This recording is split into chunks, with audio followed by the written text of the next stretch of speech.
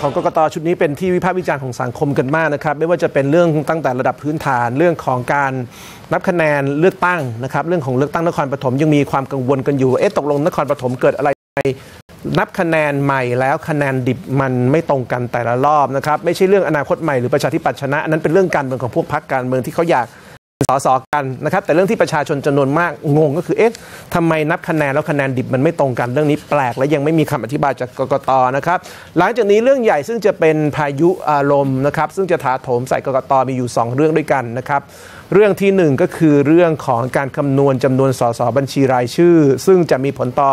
การตั้งรัฐบาลโดยตรง แล้วเรื่องนี้เป็นประเด็นเพราะว่าหลังเลือกตั้ง 1 เดือนกว่าแล้วนั้น ความสับสนว่าตกลงกกตจะใช้วิธีคำนวณบัญชีรายชื่อยังไง มีเยอะและมีรุนแรงนะครับ ตอนนี้กกตบอกแล้วส่งสัญญาณแล้วว่าจะใช้แบบที่ 27 พักได้นั่นก็คือพักเล็กได้ ซึ่งแตกต่างกับการประเมินของคนอื่น ๆ ในสังคม แทบจะทุกฝั่งซึ่งบอก นั้นไม่น่าจะเป็นไปตามรัฐธรรมนูญที่พักซึ่งได้สอสอต่ำได้คะแนนประชาชนต่ำกว่า 70,000 ไม่น่าจะได้สอสอบัญชีรายชื่อ เข้าสภา นอกจากนั้นอีกเรื่องหนึ่งที่เป็นเรื่องใหญ่คือเรื่องใบแดงใบส้มใบเหลืองนะครับ มีผลต่อการตั้งรัฐบาลโดยตรง แต่ว่าเรื่องที่เป็นเรื่องใหญ่วันนี้ก็คือสารรัฐธรรมนูญมีมติรับคำร้องของผู้ตรวจการแผ่นดินแล้วนะครับผมจะสรุปให้ผู้ชมฟังนะครับเพราะถือว่าเรื่องนี้เป็นเรื่องใหญ่มาก ใหญ่ระดับ อีกนิดเดียวมันเกือบจะทำให้เลือกตั้งโมฆะได้แล้วนะครับ ถ้าจะลากกันต่อไปสารมูลรับคำร้องของผู้ตรวจการแผ่นดิน ผู้ตรวจการแผ่นดินยื่นคำร้องเรื่องอะไรไปนะครับ สรุปแบบชาวบ้านคือ ผู้ตรวจการแผ่นดินยื่นคำร้องว่า พระราชบัญญัติประกอบรัฐธรรมนูญว่าด้วยการเลือกตั้งสสนะครับพูดง่ายๆคือกฎหมายเลือกตั้งสสแล้วกันนะครับ มาตรา 128 ขัดรัฐธรรมนูญมาตรา 91 หรือไม่นะครับย้ำ นะครับผู้ตรวจการยื่นคำร้องไปว่ากฎหมายเลือกตั้งสสขัดกับรัฐธรรมนูญหรือไม่มันไม่ใช่เรื่องคำนวณสสปาร์ตี้ลิสต์ซึ่งเคยมีการยื่นโดย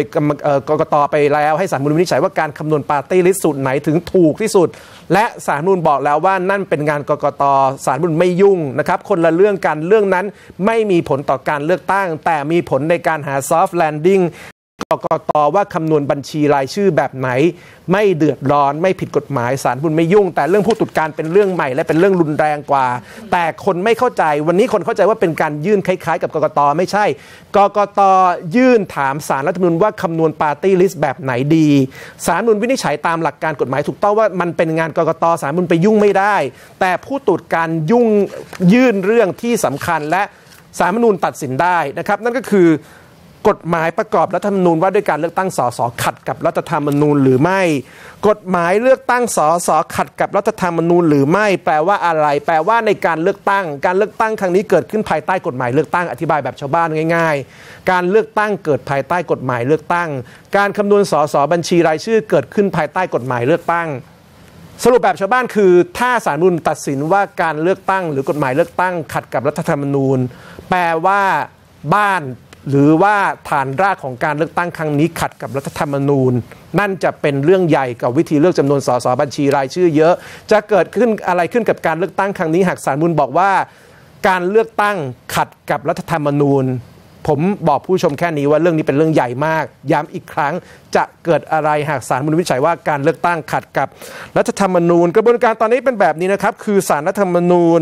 ให้เลขาธิการสภาผู้แทนราษฎร จัดส่งสำเนาบันทึกการประชุมกรรมการร่าง ในการพิจารณารัฐธรรมนูญมาตรา 91 กับกฎหมายเลือกตั้งมาตรา 128มายังสารรัฐธรรมนูญ รวมทั้งให้เลขาวิสภา ส่งสำเนาการประชุมของสอนอชอในการพิจารณากฎหมายเลือกตั้ง มาให้สารรัฐธรรมนูญภายในวันที่ 7 พฤษภาคมนี้ด้วย เพราะฉะนั้นสารรัฐธรรมนูญมีการรวบรวมหลักฐานจากสนชนะครับแล้วและมีการรวบรวมหลักฐานจากกรรมการร่างแล้ว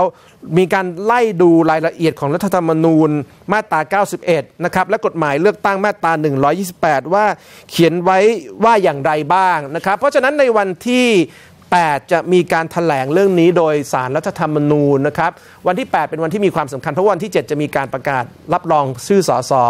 วันที่ 8 จะมีการรับรองวุฒิสมาชิก แล้ววันที่ 9 เป็นวันซึ่งน่าจะมีการประกาศผลการเลือกตั้งเป็นทางการนะครับ เพราะฉะนั้นหากสารรัฐธรรมนูญวินิจฉัยว่ากฎหมายประกอบเลือกตั้งนะครับ ไม่ขัดกับรัฐธรรมนูญนั้นก็จะมีการไปคำนวณสสบัญชีรายชื่อตามกฎหมายประกอบ คิดได้อย่างไร ของกรกตแต่ถ้าสารรัฐนูญวินิจฉัยว่าขัดเรื่องนี้น่ากลัวน่าเป็นห่วงนะครับ มันจะไม่ใช่แค่การคำนวณสสบัญชีรายชื่อที่เราเถียงกันมาเยอะแล้วว่าสูตรพักเล็กได้ถูกหรือผิด ไม่ใช่การมาเถียงไปว่าสูตรพักที่ได้สสเออได้คะแนนจากประชาชนมากกว่า 70,000 ขึ้นไปนะถูกหรือผิดแต่มันหมายความว่า กติกาพื้นฐานในการเลือกตั้งสสครั้งนี้ ขัดกับรัฐธรรมนูญ เรื่องนี้น่าจะเป็นเรื่องใหญ่ ไม่ใช่แค่ในแง่กฎหมาย แต่ในแง่การเมืองจะเกิดอะไรหากเลือกตั้งกฎหมายเลือกตั้งขัดกับรัฐธรรมนูญนั่นเป็นสิ่งที่เราไม่ค่อยดินในประเทศไทย แต่ตอนนี้กระบวนการนี้เริ่มต้นขึ้นแล้วนะครับ แล้ววันที่ 8 น่าจะรู้กันกลับมาติดตามโอเวอร์ได้ใหม่ในวันและเวลาเดียวกันนี้ทางช่อง Voice Page Voice TV Overview และเว็บไซต์ voicetv.co.th ครับสวัสดีครับ